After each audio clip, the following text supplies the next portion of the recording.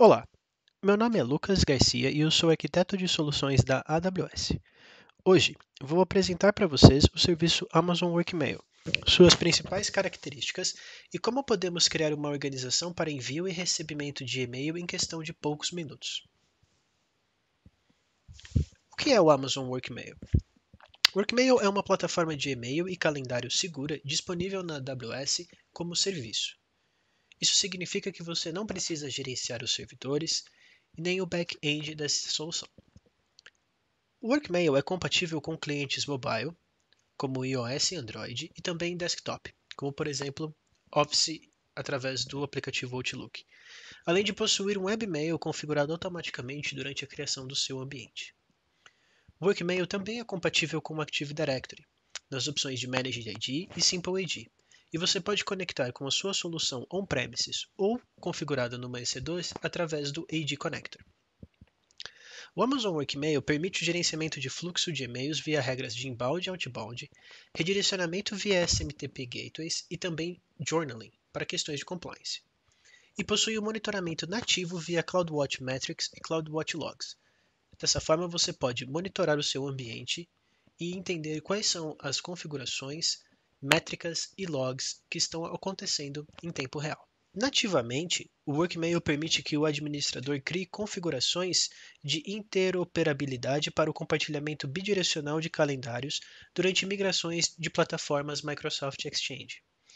As migrações do Exchange para o Workmail são simples de serem executadas e contam com o apoio de ferramentas de parceiros para realizar a exportação e importação dos dados das caixas de correio, os parceiros que nós trabalhamos hoje são Aldriga e Transcend. Além disso, caso você deseje utilizar serviços de terceiros como appliances SMTP ou soluções de anti-spam, o Workmail possui opções de roteamento externos disponíveis na sua configuração. Além de ser extremamente simples e rápido de ser utilizado, o Workmail também conta com uma suíte completa de opções de gerenciamento de contas, grupos, múltiplos endereços, alias, e políticas de controle de acesso mobile e também para os demais protocolos, tais como, por exemplo, web e client. Nativamente, o administrador poderá criar políticas de cota de uso e políticas de retenção e remoção automática. Há também a opção de configurar uma conta de journaling para auditoria e compliance, a fim de registrar uma cópia de todas as mensagens enviadas e recebidas dentro de uma organização. Além disso, o administrador possui opções de exportar o conteúdo das mailboxes através de APIs nativas. Esse backup será exportado para o S3, garantindo assim o backup de mensagens e itens de calendário para situações de disaster recovery. O Workmail também é compatível com o Amazon AWS KMS, garantindo assim a criptografia e proteção de seus e-mails.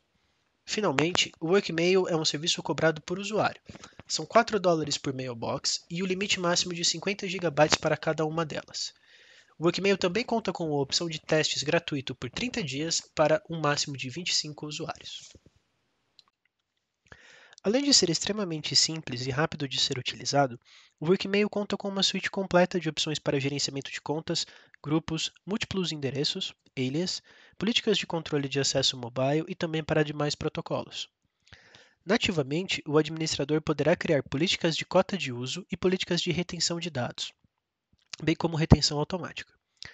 Há também a opção de configurar uma conta do tipo Journaling para auditoria e compliance, a fim de registrar-se uma cópia para todas as mensagens enviadas e recebidas dentro dessa organização. Além disso, o administrador possui a opção de exportar o conteúdo das mailboxes através de APIs para o S3, garantindo assim backups de mensagens e itens de calendário para situações de disaster recovery.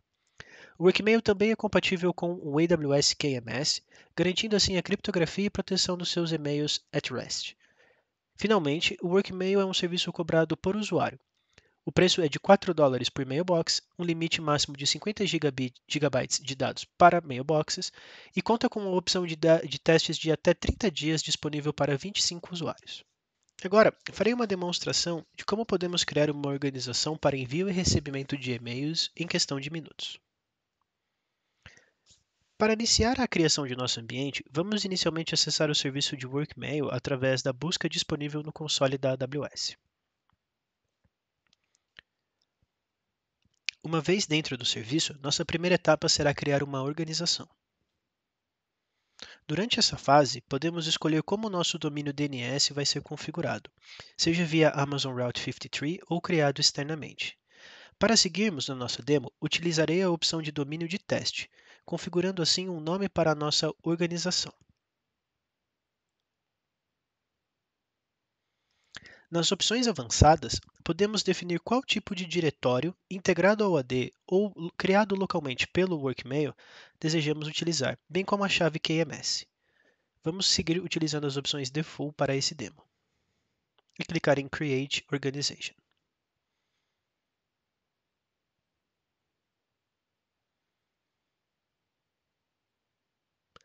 Após alguns minutos, a sua organização será criada.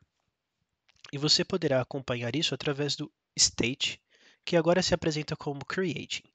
Note também que temos um ID que identifica a nossa organização e também o nome do nosso domínio default, criado automaticamente quando selecionamos a configuração de teste.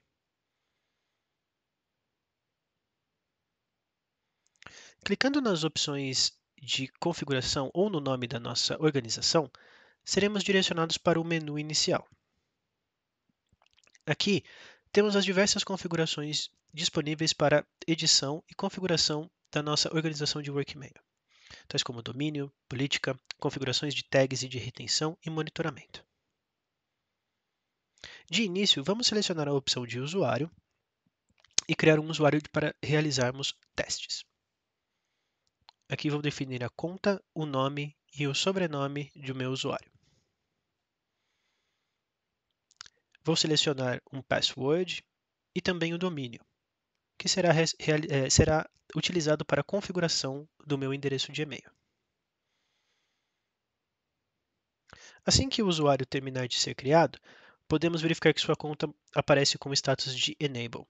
É possível alterar as configurações dessa conta, como políticas de acesso mobile, permissões e cotas, caso necessário.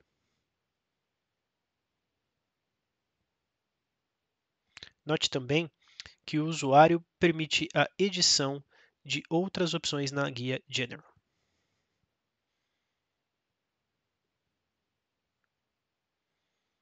Os endereços de e-mail são criados com base na configuração de DNS que adicionamos anteriormente.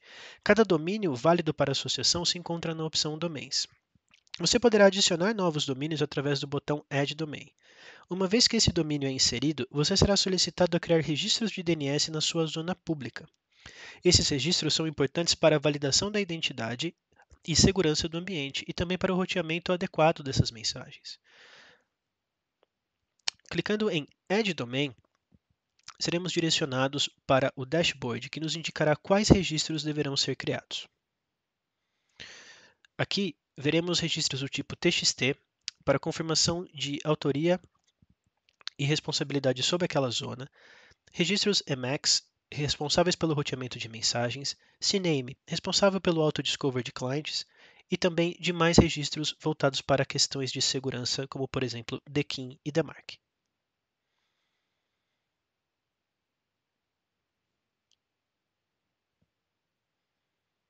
Uma vez que este domínio seja configurado, seu status mudará para Verified, onde os registros DNS serão validados.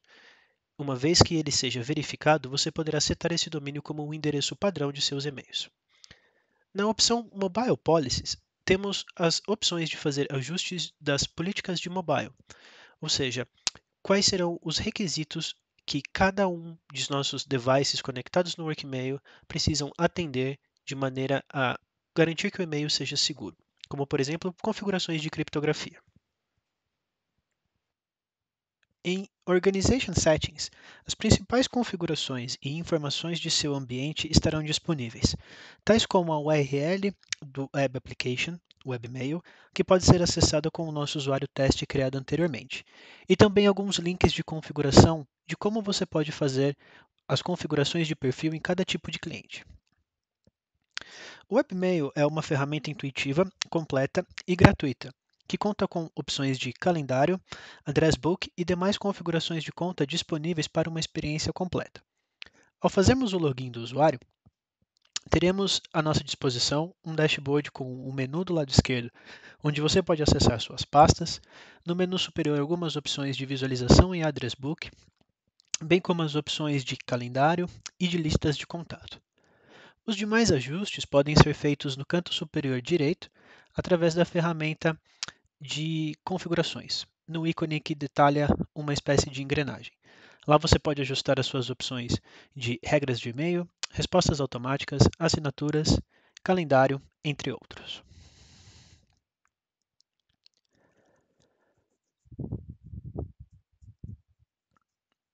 Na sequência, a aba Monitoring, você poderá configurar logs sobre envios e recebimentos de seus e-mails através da publicação de eventos dedicados no CloudWatch. Clicando em autorizar a criação de uma role específica, na sequência você poderá ver o grupo de destino desses logs, clicando em View Logs em CloudWatch. Aqui, você terá uma visualização dedicada de todos os logs referentes ao envio e recebimento de e-mails de sua organização, bem como os detalhes de tempo de retenção, a string configurada, métricas e também as opções de você fazer ajustes específicos através do botão Actions. Esse botão permite que você faça, entre outros ajustes, a edição do tempo de retenção e exportar esses logs para o Amazon S3.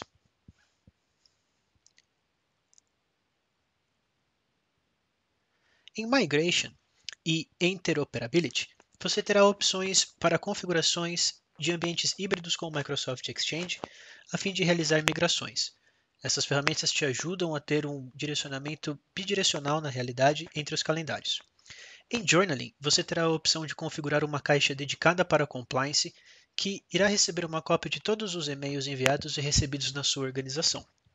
Em SMTP Gateways, você poderá criar um gateway dedicado para o envio de mensagens.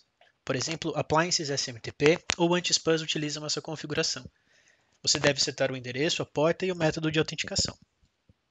Na sequência, você poderá configurar tantas regras de recebimento quanto regras de saída. Cada regra possui uma ação específica, tais como drop mail, entregar o e-mail para uma junk folder ou executar uma função lambda específica de processamento de e-mail, o que torna essa configuração muito poderosa. Em Outbound, você poderá, além dessas opções, direcionar o e-mail para um SMTP Gateway criado anteriormente, configurando assim a rota de entrega desse e-mail como previsto. Em Advanced, temos a configuração específica do DMARC, uma opção de segurança muito importante que vem habilitada por padrão, e você pode desabilitar para testes e outras configurações. Você pode também criar uma tag por questões de billing e identificação da sua organização, e também criar as regras de controle de acesso, as chamadas Access Control Rules. Clicando em editar regra, você pode criar uma regra específica ou ajustar a regra padrão. No caso, clicando em editar regra, temos as opções de criar regras específicas de controle de protocolo, listas de IP autorizadas e grupos de usuário específicos. Você pode, por exemplo, desabilitar ou habilitar acessos via AutoDiscovery, ActiveSync, Outlook e Webmail, tornando poderosa essa configuração para ajustes de compliance e de tipos de acesso permitidos para cada tipo de grupo de, seu, de usuário dentro da sua organização. Você pode também setar os limites de IP para apenas IPs autorizados serem é, permitidos acessar o seu cliente. Em questões de retenção, logo na opção Retention Policies, você pode configurar opções de remoção permanente ou de remoção para lixeira automaticamente de sua caixa, setando datas e a pasta específica que você gostaria que essa ação fosse executada. Dessa forma, você consegue controlar o conteúdo e armazenamento de suas caixas de mailbox, é, suas caixas de correio, de maneira automatizada e centralizada. Logo na sequência, a opção Monitoring também te mostra métricas do CloudWatch sobre e-mails enviados e recebidos e também de e-mails que foram é, apareceram algum tipo de erro, os chamados bounced, tanto de entrega quanto de saída.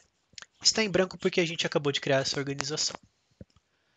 Finalmente, na opção What's New, a gente tem uma visualização completa de todas as mudanças, updates, ajustes e novas versões de, de conteúdo que o time de desenvolvimento do Amazon Workmail publicou nos últimos tempos é uma visão centralizada sobre todas as ações que a Amazon vem realizando de melhoria do produto. Este é o final de nossa demo e de nossa pequena apresentação sobre o Amazon Workmail. Espero que você tenha aproveitado e que suas dúvidas iniciais sobre o serviço tenham sido respondidas. Muito obrigado e até a próxima.